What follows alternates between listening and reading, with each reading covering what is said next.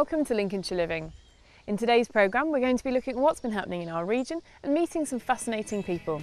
So what's coming up in today's programme? We'll be looking at complementary medicines, looking at the nationwide project Young Enterprise, celebrating Anzac Day with veterans from Waddington, and meeting Holly Arnold, an extremely talented young athlete. Have you ever considered what goes on in the day in the life of a firefighter? Well, we spent the day with Rich Johnson and the rest of the White Watch team as they completed their daily tasks and attended a rather unusual call out.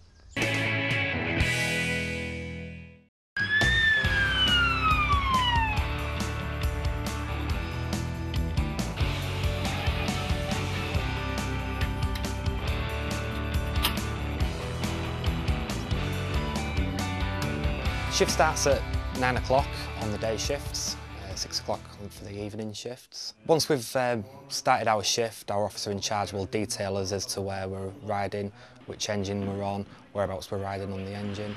Then it's all a case of putting our fire kit on so that we're ready to go. Because from nine o'clock, the moment you start at nine o'clock, you've got to be ready to attend any incident. And the beauty part of the job is you never know what's going to happen, when it's going to happen or what you're going to turn out to.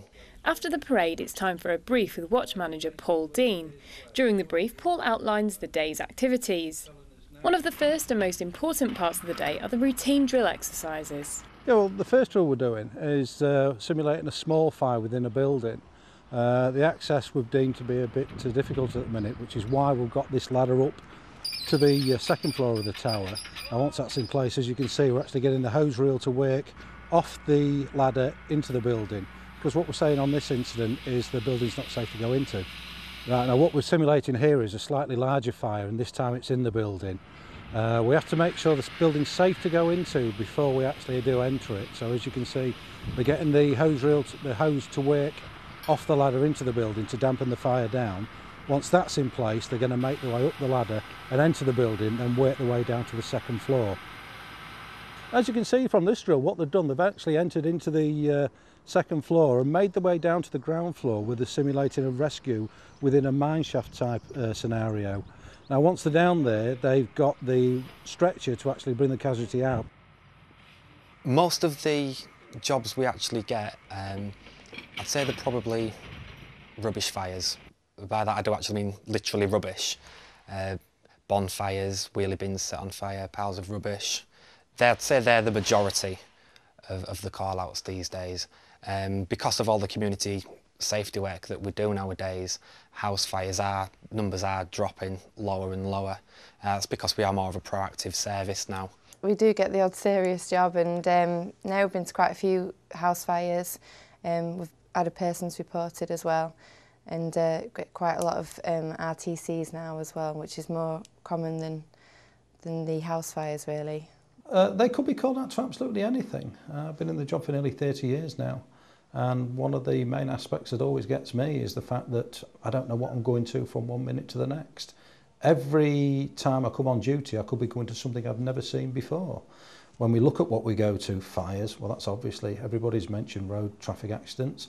But go back a year ago when all the floods were on, uh, there were places where you wouldn't think that people were going to get flooded out. Uh, just about half a mile down the road, you would never think there's going to be a flood there, but it was flooded out. And so we have to go there, use equipment we've got to actually help the people. The main call out was quite unusual, but all the same fell within the Fire and Rescue Services remit to attend. They were sent to rescue a little girl who was trapped in a plastic toy. The rescue involved using cutting equipment to set her free. Once the little girl was safe and the details recorded, the crew returned to the station. Oh, well done. Well done. Next on the agenda for the day was community safety work. Hi, Mr. Lawrence. Yes. It's five again. Yeah. It's, uh, detectors.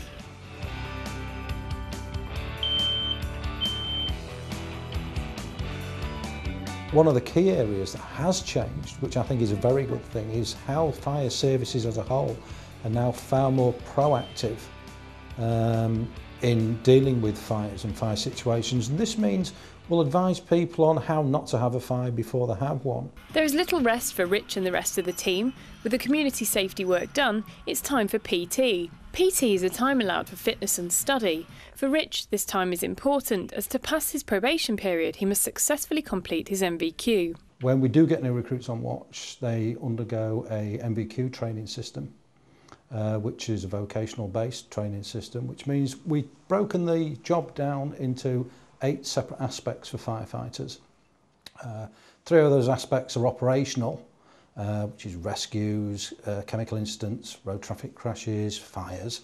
Uh, the rest are all to do with community safety, serving the public, uh, because the fire service as a whole is now far more proactive in preventing incidents than it was before. In terms of progression or not progression, uh, literally it's up to you where you want to go and uh, what your capabilities are. uh, everybody in the fire service from everybody with an operational input to the fire service that's from firefighter where Richie is now up to the chief fire officer uh, have all been probationary firefighters on station.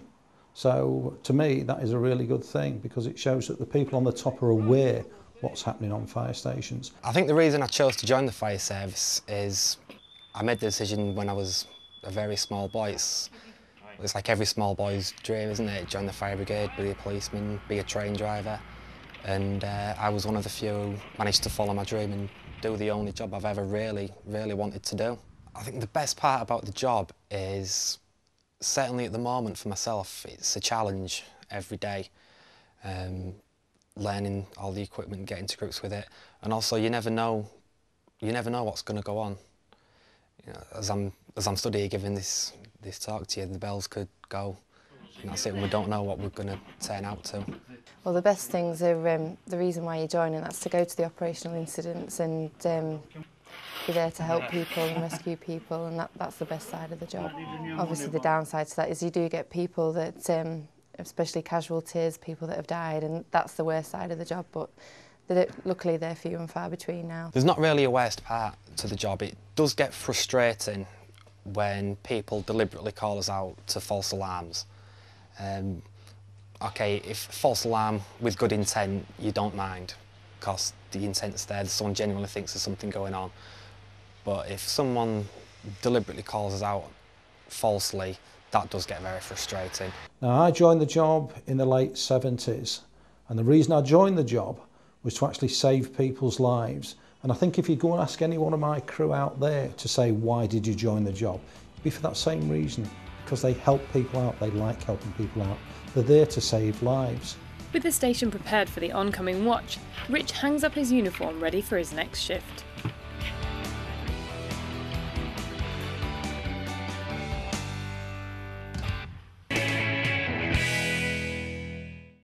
Whether it's back pain, insomnia or stress, complementary medicines can offer that extra bit of help alongside more traditional medicines. We wanted to find out about the services and techniques available in our area. Complementary therapies and medicines are now widely used throughout the UK. There are a range of therapies, techniques and medicines available, and I've spent some time at Earth Energies in Scunthorpe to find out what the clinic has to offer. Acupuncture is a popular, if not scary looking, complementary medicine, and we've come along to talk to Janet Mort today. Now, Janet, Yes. can you tell us how does it actually work? The idea behind acupuncture and Chinese medicine is that everything in the body is connected, all part of a greater whole. Hmm. Ill health is about imbalance in the body. You can get imbalance anywhere, hmm. and what acupuncture is doing is finding out where the imbalance lies and helping the body naturally to correct itself. Can you tell us what Jean's symptoms were and how you're going to treat them? Absolutely. Um, Jean has had problems with sinuses for a long time. She's also had other problems with like sciatic pain and things like that, which we have treated very successfully, and she's fine now. But recently, she had an operation on her sinuses and to help unblock and to help with this Right. mucus. And it caused a great deal of pain and discomfort afterwards, didn't it, Jean? It was quite horrible. My name is Jean Taylor and I've been having acupuncture since August of last year. I was coming here to see Jan regarding my weight and I happened to mention that I had problems with my sinuses and uh, she suggested that um, acupuncture could help me. The needles didn't bother me at all. I've got to admit I was very uh, dubious about acupuncture Uh, but it has really, really helped my symptoms. I'm just, well, I'm completely surprised actually. I was amazed. What we were going to be doing with Jean today is looking at certain channels in the face that we've got here, which we're going to be working with, and tapping into these channels to help with that nerve pain and to help move on the mucus that is still a little bit stuck there. So we'll be doing predominantly on the face to help with that, the whole face and sinus area. Mm. We'll also be doing certain points on the wrist, which are for general well-being, but also for pain relief. Mm.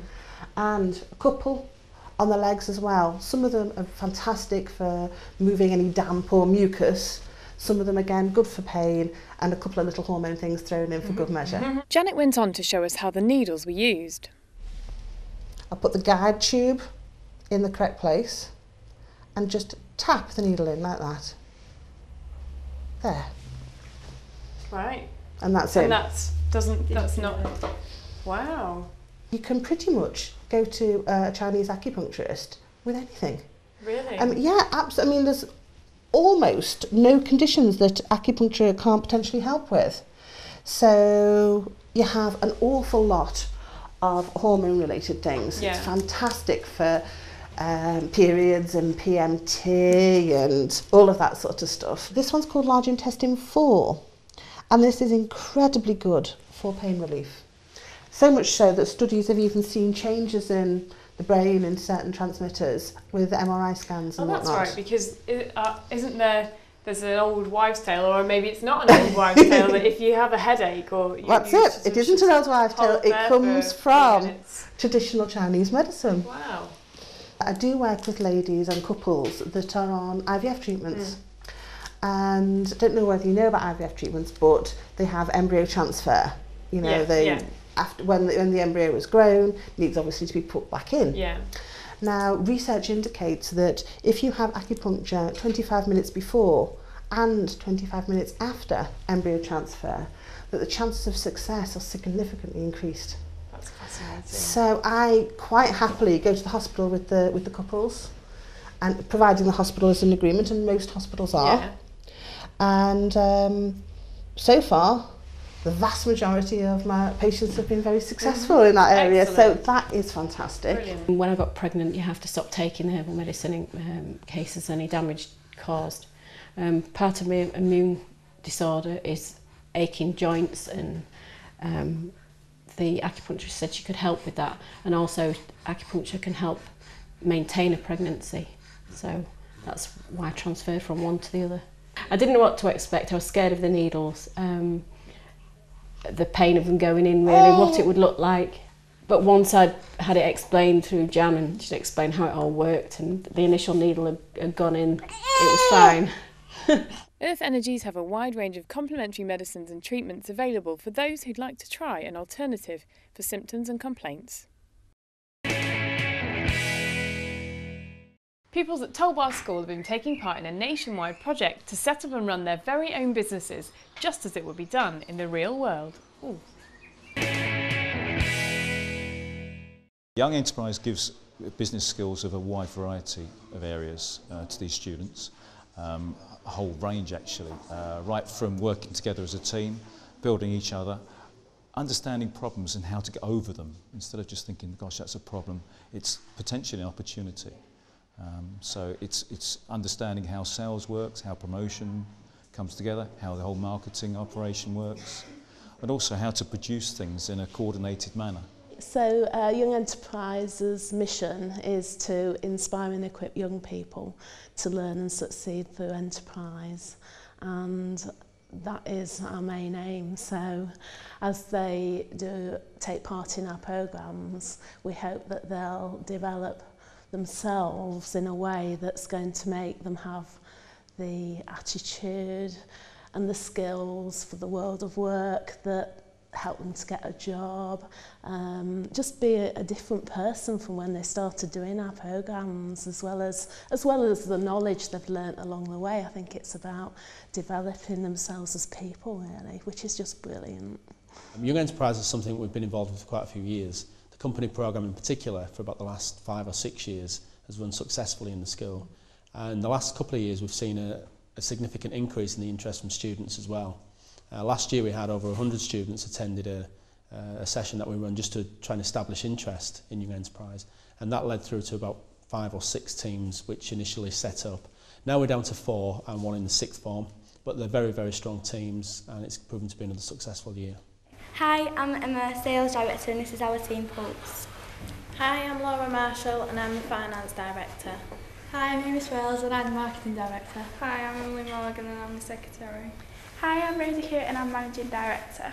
Well, at first it was very overwhelming because we didn't know what was going to do. It was like there was so many different products that we thought of, but then in the end we came up with this one. Our product is quite unique and saleable because it's handmade and no one else has thought of it and it's environmentally friendly. We make it by using MDF wood and Emily and Rosie at the moment are cutting up the wood so we can stick it on. I think we've learned quite a lot of skills because like actually like cutting the wood and learning how to actually make it and stick the corks on in different ways and we've tried different ways of doing it. We can use it as a notice board or putting hot pans on or hot um, materials and um, also a, we do small coasters or placemats. I think we made a good achievement because we did win Best Products Award and we got nominated for all the other awards. So one of the key things I've focused on with Pulse is to get them to work as a team. Um, and, and that's one of the biggest benefits of, of what I add to the team really. Oh, it's very important to get them organised together. They're literally you know, two, three, four years away from going into a business or, or becoming employed by a company or even set up one of their own companies. So actually to actually see how a, an organisation or a company can work together is, is fantastic and a very good point for them to sell when they actually go for that interview on that first job. The sorts of things that um, the students can improve on is definitely self-confidence and um, also I would say thinking for themselves, taking the initiative um, being responsible for their own company is a fantastic thing. Uh, I think enterprise education is particularly important because nowadays there's a, a big emphasis on qualifications and we're a very successful school in achieving high standards of GCSE outcomes. But that only is part of the skill that students need. Uh, they need to be enterprising, they need to be able to take risks and show initiative to be successful in the workplace. So enterprise education is, is very important. I'm Bethany Hudson and I'm Managing Director of Charming and um, as you can tell from our board we sell Easter related products um, but it, it alters through the year because at Valentine's Day we sell Valentine's Day um, products and our next venture will probably be Father's Day. Last month we went to a national tra uh, trade fair in Freshly Place in Grimsby and we won Best Trade Stand. We were also shortlisted for the other two awards, Best Sales Team and Best Product Quality. This is our product. You get an Easter egg and an Easter teddy and a card for $3.99, which is actually quite a bargain. Went to a trade event in Leeds last week and we hope we sold, we sold really well. And we also plan to go to Stratford next week or Saturday and sell and hopefully do well there as well. All the groups continue to impress us and the school themselves, right up to the principal, is very, very proud of, of what they achieve. It gives great publicity to the school when they're featured on things like this and, and in, the, in the newspapers. And th they walk around school with their chest pump, pumped out because they're very proud to be involved in this. Um, so every one of them that participates and those that go to the trade fairs and the, and the presentations uh, just represent the school very well and very proud of them. Anzac Day is celebrated on the 25th of April to commemorate the lives of the Australians and New Zealanders whose lives were lost in the Second World War. We spent the day with some veterans from Waddington, Squadrons 463 and 467, who hold this day even closer to their heart as they were placed into squadrons with Australian servicemen and women. Today commemorates Anzac Day when we remember the landing in Gallipoli on the 25th of April 1915 when a large contingent of Australians landed to a difficult landing and there was a battle in which so many of them were lost. And it became the marker for Australians of them coming to help the mother country um, and the sacrifice that they were willing to give. My involvement today is through my father who served on 467 Squadron um, as a ground engineer and he went on to rediscover his aircraft in 1969 where it was a gate guard at Scampton. Uh, the reason why his aircraft was kept and not scrapped at the end of the war was because during the war it completed an astonishing 137 ops, which was completely unheard of. And it was also the first Lancaster to make it to 100 ops out of over 7,000 that were built. Sadly, I lost my father a few years ago, but we've had the Battle of Britain Memorial flight fly over today, as it does every year on Anzac Day, um, flanked by Spitfire and Hurricane. And these aircraft are, are there as a permanent flying operating memorial to all those airmen that lost their lives during the war. And I think it's fair to say that a little, little piece of my father gets airborne every time that aircraft does. Well, it, it's uh, across the Australians, uh, they, they do this, and the New Zealanders, of course, and, and they do it in a very big way. They spend a, a, a lot of time and energy on celebrating Anzac Day on the 25th of April every year. And uh, if you go to Australia, you'll see all sorts of parades of children, and they're all involved, and it's, a, it's quite a big thing in Australia. Here, of course, we are virtually the only people that celebrate it because we were with the Australian, two Australian squadrons here at Waddington. Well, we were fortunate, being English, that we were placed on an Australian squadron. So half the crew were Australian, half the crew were British, four Australians, three British in the crew. And it's a bond that's stayed there ever since. We've visited each other's homes. They've come from Australia to England. We've gone from England to Australia. And we're still in contact. And we still have six members of the crew alive after seven. And probably the only crew left that's got six members. Well, Anzac Day means strictly a selfish motive because we didn't know an awful lot of other crews. But our Anzac Day for me is this particular gathering here when I hope to see, first of all, Bob and then um, Basil, the engineer. And from then we, we learn how the lads are in Australia are still alive. Uh, it's nearly always been very happy relationships that we have, but recently we've heard that the skipper now got dementia. Uh, even so, we do speak to the navigator who is 88 and in reasonable health, and we talk to Archie. So as you can imagine, that is the big meaning of Anzac Day. From a personal point of view, I feel it's um, very, very important for the younger generations to keep the uh, memories of all those that lost their life on Bomber Command alive. A, because it's a part of our history, and B, because those children that are, that are up and coming today can learn lessons from that part of history to make a better future. It's important to the veterans to remember because memories through the years don't get weaker, they get stronger um, as people begin to see what happened from more and more sides and they need time to share together and come to terms with this the, the tragedy of what was required of them in the Second World War.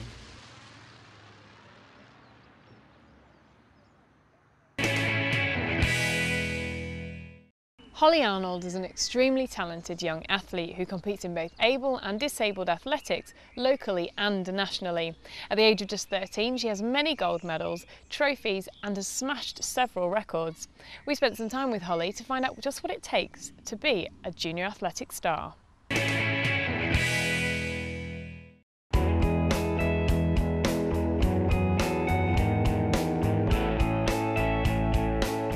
Was born with a right hand uh, missing just below her elbow. She's always been very sporty, sort of playing sport with her older brother. Um, but I think she must have been about eight or nine and she started going to an athletics club and that's when we discovered that she'd got quite potential for athletics. Last year I won six gold medals and I smashed eight national records. And also I got this award on Friday for an outstanding athlete. As part of our marketing strategy we have uh, uh, quite involvement in sponsoring organisations both uh, and individuals in the local community and we see that as an opportunity uh, for us to help uh, those people and also gain awareness of the Institute and what we do. Our sponsorship with Holly has run now for two years we're into the second year and we'll continue that um, over the next coming years because Holly's a really talented athlete and we want to help her get to the Paralympic Games um, in 2012. Uh, but also we sponsor her throughout the the, the season that she competes in athletics across the country and it helps us again get our name across.